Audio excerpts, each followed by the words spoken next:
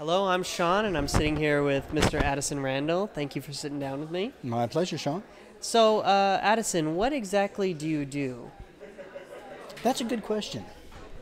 It's a question I've asked myself many things. I started off, uh, well, I was born into the industry, so I And started the industry being the film industry. film industry. Um, my grandfather was a producer, Hal Roach. My dad was a, a Western star, Bob Livingston. He uh, he did a lot of stuff at uh, Republic Studios. He was one of their big big stars for a while.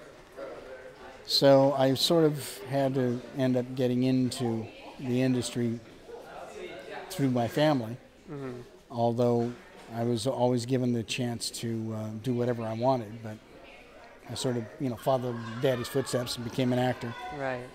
And uh, he always told me to uh, look at the director's chair, which I did.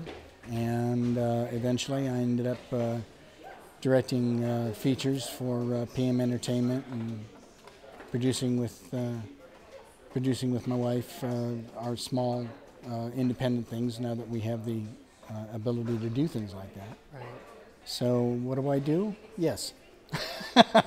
I've produced, I've directed, uh, I've acted, uh, I've been a stuntman, I've been a PA, been a gaffer, I've been a grip. So, do you like uh, producing your own films or getting coffee for the producers better?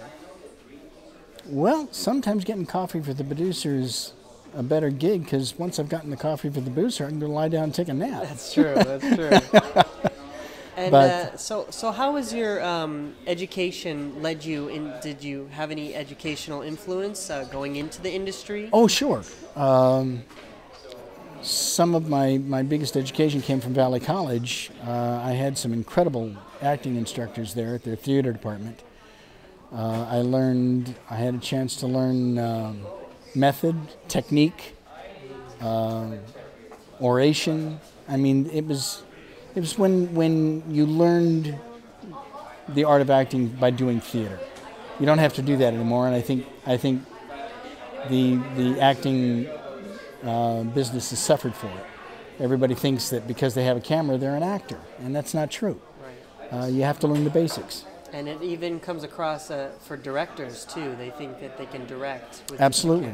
Um, So, do you have any uh, advice for students that uh, have hopes to become an actor or director, or that are attending college, or maybe out, outside of the workforce?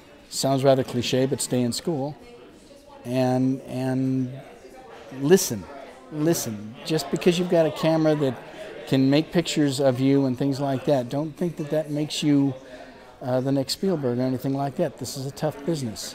Uh, listen, observe, um, and and just because you know some guy's older doesn't mean he doesn't know what's going on. And there must be a reason that if he's gotten anywhere in this business, there's a reason for it, and it's because he knows or she knows how to work with people, and that's the biggest thing in this business that you you've got to have. You've got to know how to work with people Absolutely. because everybody asks the question, "Are you somebody I want to work with for 12 hours a day?" And if you're not, get out of the business. You know, go go uh, flip burgers or be a lawyer or you know whatever. But don't be in this business because this is a business of relationships.